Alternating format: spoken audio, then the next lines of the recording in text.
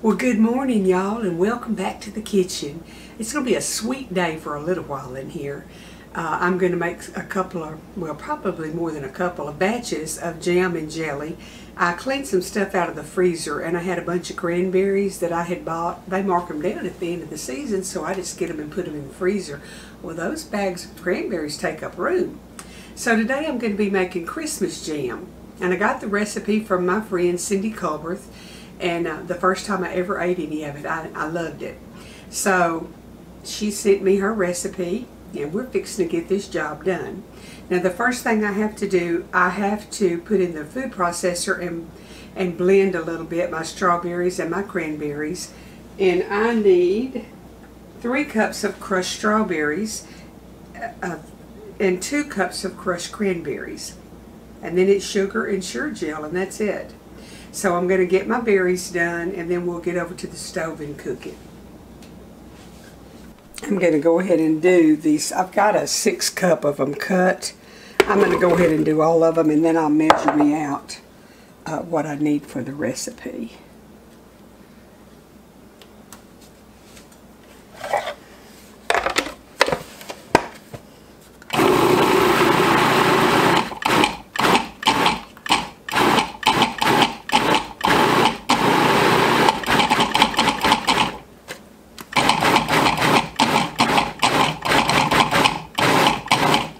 Want it a little bit chunky.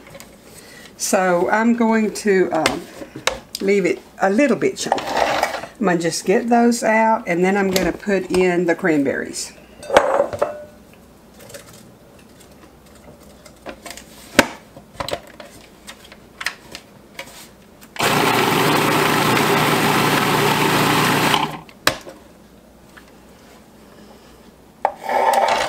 Okay, and I just left those a little bit chunky too. Okay, I've got my berries in. I'm going to give them a stir. Then I'm going to add in my, uh, and I had a little bit extra strawberries, and I went ahead and put them in here.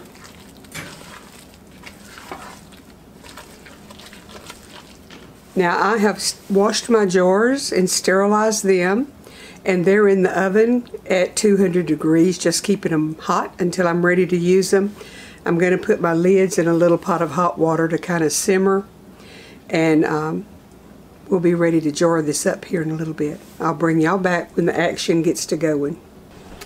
Y'all know how I am about my hatch peppers and uh, that I have a freeze dryer. Well I had told y'all that last year or the year before I put up 50 pounds of uh, the smoked hatch well, this is one of my jars right here, and I happen to think I'll just grab a handful of them. And this is what I did. I just got me some in my hands, and I'm just crushing it in there so it'll have a little bit of a bite.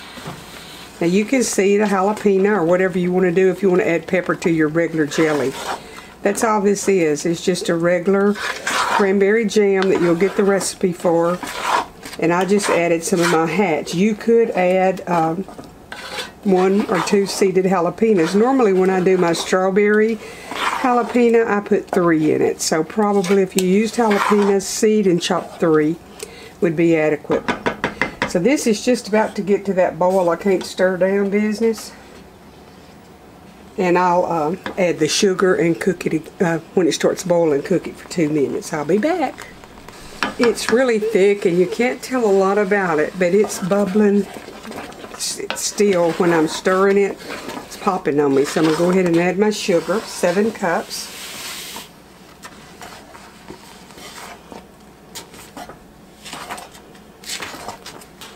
I'll get this all mixed in and then I'll be back. Okay, my sugar's all dissolved. I've just got to bring this back up to a boil. Then do the two minute boil and then I'll be ladling it into my little half pint jars. That's just the right amount to open up and put on cream cheese or just to have a little jar at a time open. We don't eat a lot of jelly at our house. I make stuff and share it with others. But um, this will be good, a good gift for the holidays. When the people start having the gatherings. And you know what? If COVID flares back up and we're locked down and you can't have a gathering, make a special evening for your little bunch that's there at your house. You can make any day a party day. And that makes sweet memories. With kids, if you call it a party, honey, that's right down their alley. It was when we was growing up and my kids. Everybody likes a party. Because that usually means you're going to get to have a goodie that you don't normally have.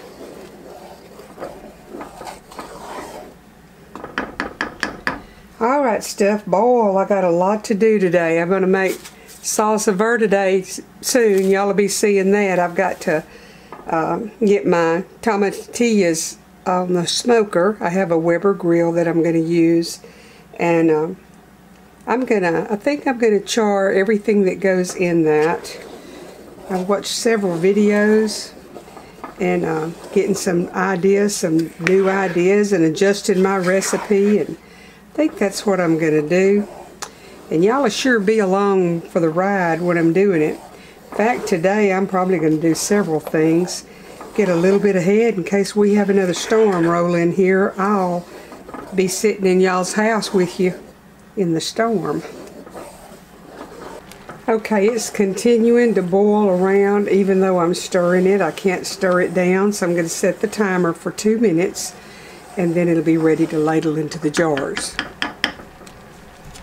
Got my water bath canner over there coming up to a good boil and I'm going to dip off some of this foam.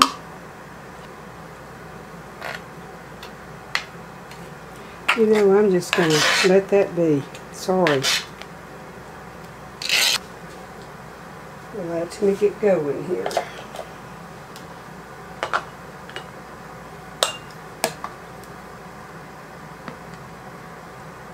And these are half pint jars. And the recipe said that I would get uh, 9 to 10 half pints, so we'll see.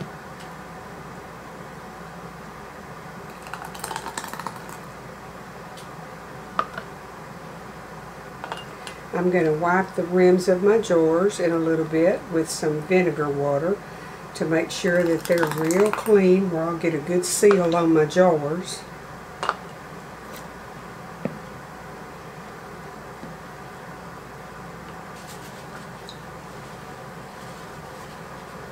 And these are very hot from being in the oven.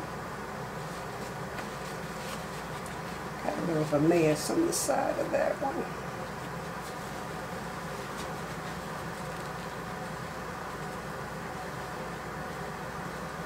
Okay, let me get my rings on these and the lids.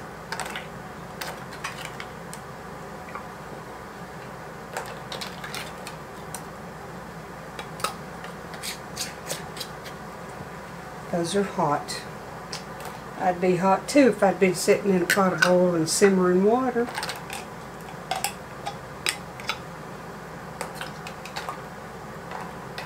I try to leave a half inch head space on jams and jellies. And that's always worked for me.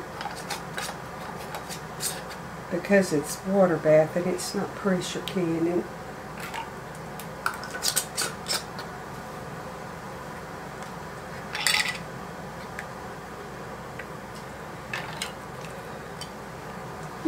Hot, hot, hot. fingertip tight. And I'm going to go ahead and get these over here in the water bath and I'll be back and when I get them all done I'll come back and show y'all what I've got. Okay, everything's in here and I've got the deflector up there. It's coming back up to a boil and they have to boil 10 minutes and then I'll take them out. Okay, the water bath has been going on for 10 minutes. So I need to get my deflector out, if I can find my lifter.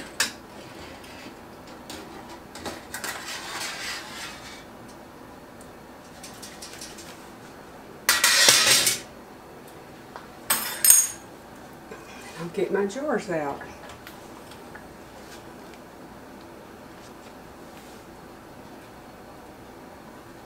And I'm just going to let them sit over here undisturbed till tomorrow.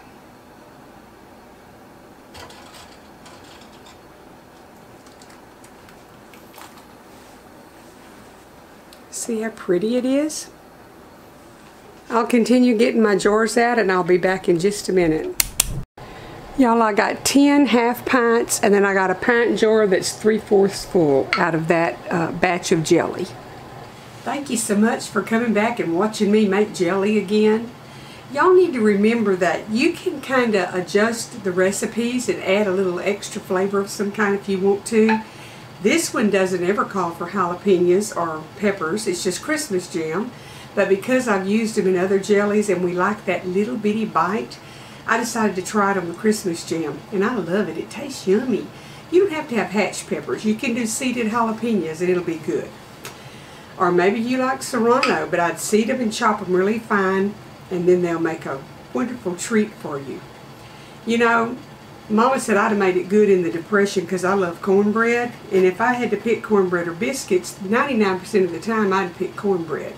I love cornbread with butter and jelly on it. And I'm telling you, this jalapeno jelly would be great on some hot cornbread. Just a thought.